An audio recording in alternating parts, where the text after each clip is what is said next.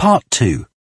You will hear a recruitment officer called Megan Baker giving a talk at a jobs fair about opportunities for those interested in the food and agriculture sectors. First, you have some time to look at questions 11 to 14.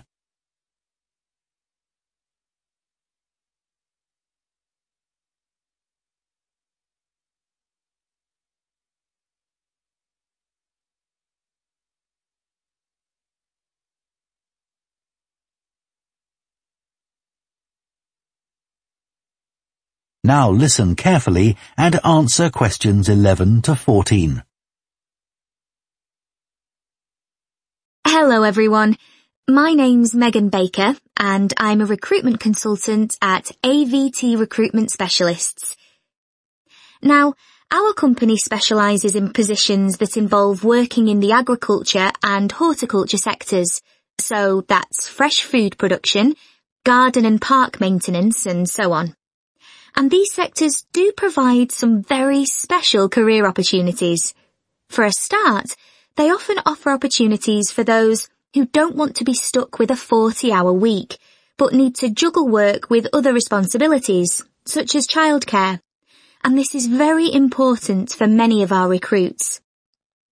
Some people like working in a rural setting, surrounded by plants and trees instead of buildings, although we can't guarantee that. But there are certainly health benefits, especially in jobs where you're not sitting all day looking at a screen, a big plus for many people. Salaries can sometimes be good too, although there's a lot of variety here.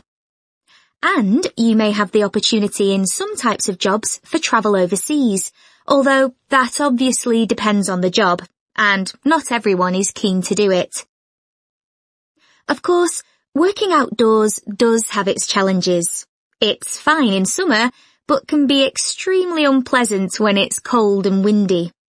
You may need to be pretty fit for some jobs, though with modern technology, that's not as important as it once was. And standards of health and safety are much higher now than they used to be, so there are fewer work-related accidents. But if you like a lively city environment surrounded by lots of people, these jobs are probably not for you. They're often in pretty remote areas. And some people worry about finding a suitable place to live, but in our experience, this usually turns out fine. Before you hear the rest of the talk, you have some time to look at questions 15 to 20.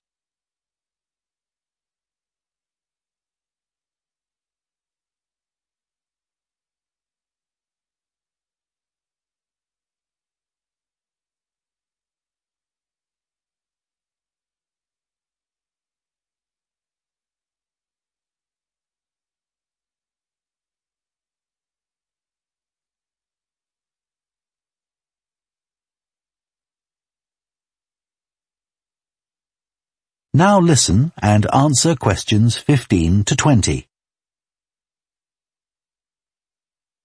Now, let me tell you about some of the exciting jobs that we have on our books right now. One is for a fresh food commercial manager.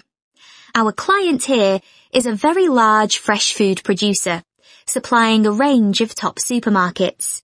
They operate in a very fast-paced environment with low profit margins, the staff there work hard, but they play hard as well. So if you've a sociable personality, this may be for you. We have an exciting post as an agronomist, advising farmers on issues such as crop nutrition, protection against pests, and the latest legislation on farming and agricultural practices.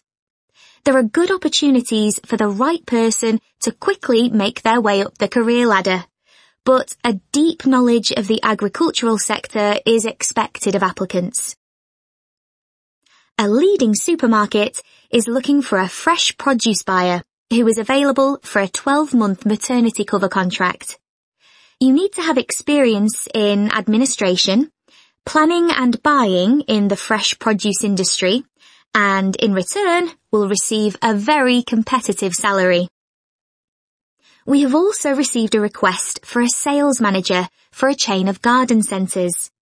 You will be visiting centres in the region to ensure their high levels of customer service are maintained. This post is only suitable for someone who is prepared to live in the region. There is also a vacancy for a tree technician to carry out tree cutting, forestry and conservation work.